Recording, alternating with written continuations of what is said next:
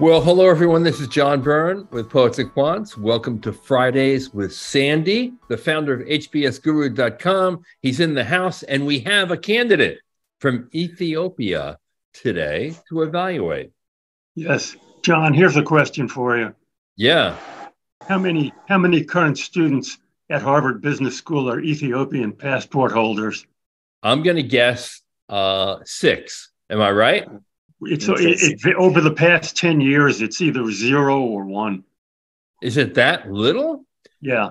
Wow, that's remarkable. By the way, do you could you introduce yourself or John? Fill fill in our uh, fill in the background of our candidate, Hizbawi here. Uh, yeah, my name is Hizbawi. Uh, I am from Ethiopia. I am 29 years old. Uh, I have a basic degree in mechanical engineering from Mekelle University. Uh, yes, my GPA is 3.43 out of 4. Okay, you got to uh, slow down. You're, you're running over a lot of important information. Okay. You're from Ethiopia. That's good. If schools are going to love you. Okay. Do you know people from your college or friends of yours who have applied to business schools from Ethiopia? No. Yikes. How did you figure this out? you know, uh, it, it was my desire to pursue an MBA since uh, I graduated from Mekelle University. Uh, I just tried to apply to different schools, but I didn't because I don't have a, a job uh, experience. And also, okay, uh, let's let's let's go through your resume. Uh, okay, just so we get the outline here. The way I've got it now, for the past five months, you've been an interpreter at Alpha Systems in Addis Ababa, Addis uh, Ababa. Uh, uh, yes, Addis Ababa. Addis Ababa, yeah. Uh, you've been an, uh, an interpreter for five months. And then before that, for two years and eight months, you were the general manager of a uh, liquid detergent manufacturing company in Ethiopia. Could you tell us about that? That's real important. Yeah, uh, I was the general manager and chairman of uh, the company. It was established in, I was the co-founder of the company. It was established in partnership with other uh, four persons. Uh, and they elected me as the chairman. Uh, I have done a lot of there. Can you uh, can you give us any statistics about that company, like what its revenues were, or how many people it employed, just so we get a sense of what its size was? Okay, uh, its size is, uh, I can't say it is a big company. It is uh, just a small company. Uh, but uh, we have a, a good revenue when we compare to our society or when we compare to our country's company. It is. I'm having, I'm having a little trouble hearing here. Just it, it, was a small company. How, how many people? Was it just you and a couple of shareholders, or can you give me any metric in terms of revenue or employees, just to give me a feeling for the company? Around 14. Employees? Yeah. Yeah, that's 14. a big deal. And uh, and what did you do? You were the general manager. So what did that entail? Yeah, my responsibility spans from uh, just negotiating with uh, negotiating with uh, uh, suppliers to uh, just managing the employee. Okay. Did, did you did you? This is important, and it's a good tip for everyone. Did you did you manage other people, other employees? Yes. That's important. Uh, uh, I'm not sure I saw that. You should stress you should stress that in your story and your resume. Okay. okay. That you okay. managed other employees. Yes. And you were there for two years and eight months. Okay. And yeah. then Okay, this is just between me, you, and uh, the, us girls here. Is there a gap in your resume before that of one year, four months? Yeah, is. You may you might know there was a war in Ethiopia. Do you know about that? Yes. Uh-huh. So yeah, our company so, was located in Mekelle, Tigray, which was the main epicenter of the war. So we don't have uh, the necessary equipment or the yeah okay so what what did you do during this is important this could make you a very valuable candidate i was only reading books Reading books. Reading books. You should put that in there. Self study during the war. You know, Where? yeah, I mean, uh, even here in Addis, I was in Addis Ababa. Uh, we don't have the freedom to move from place to place because uh, we may pre- be prosecuted by the government. Uh, it, you know, right now it is better because Yeah, no, that's great. Uh, I mean, that's great uh, uh, for, for you to talk about as being experience that business schools would deeply care about. So you should put that in your resume. You should say that over that Absolutely. period of time during the war, you were involved in self-study and reading X number of books on X number of topics. okay, okay, thank you. You put the date frame and then you say, uh, lived in Addis Ababa during the Ethiopian war and involved myself in this, this, this, and this. Okay, I'm impressed. Yep. The only war Thank. I could get involved in is with my neighbors over parking. although that can get pretty fierce, but we'll leave that for another day. Indeed. Uh, and then you worked for the government of Ethiopia data collector, Ethiopia Statistics Agency, yeah, for three months. yeah. What was that about? It was uh, just after my graduation. Uh, I have worked for uh, almost three months. Uh, I, my responsibility was uh, collecting the work, collecting data and uh, analyzing the status, and also just reporting them, comparing. Okay. Let's oh, good, good. You've got a Bachelor of Science in Mechanical Engineering yes. from Mikkel. Is that the way it's pronounced? yes, Magala. Mm. Okay, I'm going to cut to the chase. Okay. This is a critical question that any applicant from a lesser, an underrepresented country like Ethiopia should be aware of. What do you want your classmates to know about Ethiopia? What three or four things? Yeah, uh, Ethiopia is uh, the most diversified uh, country in the world. Uh, we have more than 80 ethnicity and nations and nationality. And we have uh, also more than 80 different languages. Um, Ethiopia is uh, the one country which is not colonized any foreign uh, nations. That's important. E- Ethiopia was never colonized. So it was never a colony. Well, that's good news and bad news. So what, that's how it's got all those languages.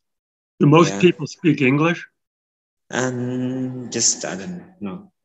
Maybe most of them are studying in English, but they may not speak English.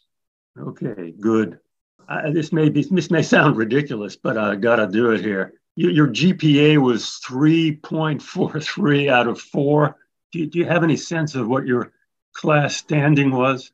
Uh, I think I was a team leader uh, throughout my undergraduate classes. I was uh, the team leader, a group of five. I was a leader. Good. That's but that that doesn't. How many people were in your graduating class?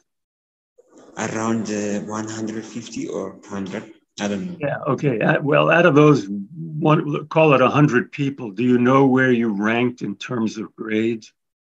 I think ace or seven. Nineteenth. That's a pretty good answer. Okay. So you should put on your resume top twenty percent graduating GPA Yeah. Okay. Definitely.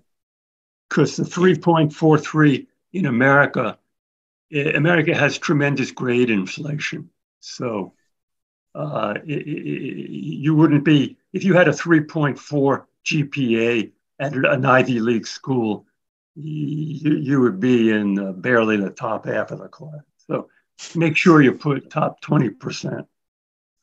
Okay. Good.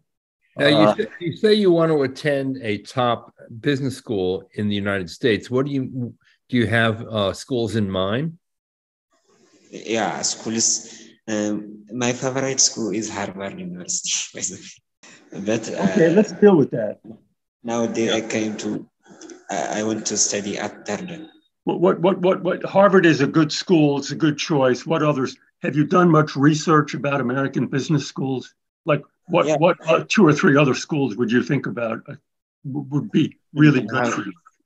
I have several schools in my mind, uh, such as Babson College and also um, Weatherhead. Okay, Babson. What was? What did you say after that? Weatherhead, Case Western, and Oh, Cleveland. oh, oh, Weatherhead. Yeah, that's a good choice. Okay. Yeah. Look, I, I think that one one missing uh, data point, which is important for us to evaluate your chances, is a standardized test which you haven't yet taken. Uh, because you have an engineering background, we would assume that you would do fairly well on that test, but you know we don't know for sure um, because you know there is some disadvantage uh, because English is a second language to you. Hey, and John. Let me cut to the chase. Uh, you had Howie, yeah, if you're if you're interested in going to a, a top business school, you need to to take the GMAT and keep taking it. Take it two, three, four times. Your score goes up. If you're saying that sounds crazy, Okay. the best sacrifice you could make for the payoff at this point in your life. If you the difference in your case between a GMAT of like 650 and 710 is colossal. If you had a 710 GMAT, you would have an outside chance of getting into Harvard Business School. Am I crazy, John? I think the one issue too is though he he worked at his own company, so Yeah, there's you know so there's no filtering uh, that the school can rely on. Uh, I mean, if he had worked for a highly selective employer, that would be another sense of Right. But we're, we're dealing with what we got here. Right Yeah. now, he's he's you know an interpreter, uh, and that's just, that's a yourself that's a self-employment. Yes. Yeah. Okay. And then when you worked at the uh, liquid detergent manufacturing share company with 14 employees, when you write that up, you have to stress what a big deal that was, how you supervised people, et cetera, et cetera. Okay. Yeah. So they, they, they, the schools have never have never heard of that company. So you have to prove that it was a big deal. That and a 710 GMAT, and coming from Ethiopia, you've got an outside shot at Harvard. They're looking for Ethiopians, and it's just it's also an interesting development story. A business school would be very attracted to you. Meet them halfway and take the GMAT five times. What, what's the big deal? Okay, take the GMAT five times, go to Harvard, and you, you will come back and be president of Ethiopia, my man. Okay? Uh, that's that's probably true. You know, that Yeah. really good. And obviously, you. I mean, you should apply to five or six schools, um, and and and a couple that are a reach. Look, Harvard is still going to be a reach, but oh, for sure. yeah. For sure. Tell them what schools you think you should apply to, John. Well, he mentioned Babson and Weatherhead, which obviously are not in the top 25.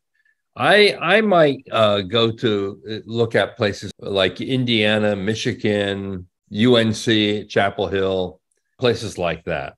Uh, yeah, but there's still a gap between those and Babson. What, what's a safe school? Babson is a safer school. What is a school that might be a safe school, but that is more national than Babson? Well, you could do uh, Vanderbilt, perhaps, or Emory, Yeah. and those are really terrific MBA programs, great business schools, um, but not as highly selective as uh, obviously, you know, the M7 or Harvard, or even Indiana or um, Cornell's a possibility too. Yeah, but Berkeley, Hard, Y- Yale, Yale's a good choice. yeah, that's probably true. Tough to get into. It's a reach school. I wouldn't call it safety, but I still think you know the fact that you're from Ethiopia and very few candidates come from there. If you can get into the 700 GMAT score, Yeah. plus 700 plus, NYU, have you have you thought about that? NYU, Yeah. Cornell, what about that? yeah, I think Yes. Cornell's. A, I think Cornell could be a shot too. Frankly, Yeah.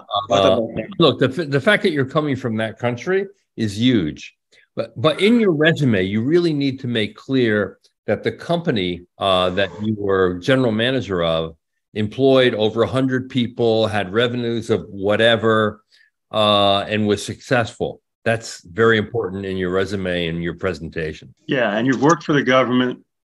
You then were you then were for one year and four months lived in a war zone and engaged in self-study. That is that would be one of the great resume lines I've ever seen. I, I'm not pulling your leg here, man.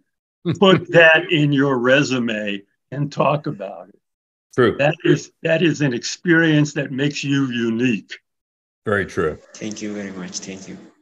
Well, good luck to you. All right. So go for it and study for the GMAT. Get that 700 plus score, and you're going to be golden. If you can't get a 700, I think you are looking at a Babson or a Case Western. Okay. So there you Yeah. go. All right. This is uh, Fridays with Sandy. Sandy, thank you so much again. Good luck to our candidate. I want to see you you. here next year, man. I'll buy you lunch. All right. Good luck on Okay. your journey.